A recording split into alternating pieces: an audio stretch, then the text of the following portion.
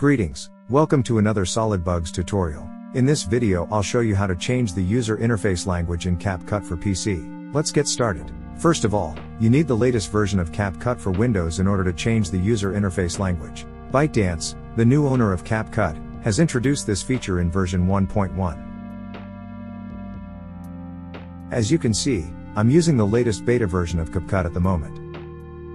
To change the interface language, click Global Settings at the top. Select the Language tab. There are currently 7 languages supported.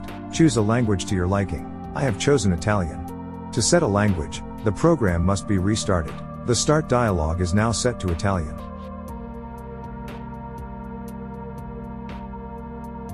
And indeed, the toolbar now shines in Italian. To change the language again, we call up the menu, and click thereon, let's see. Impostazione globali in quad.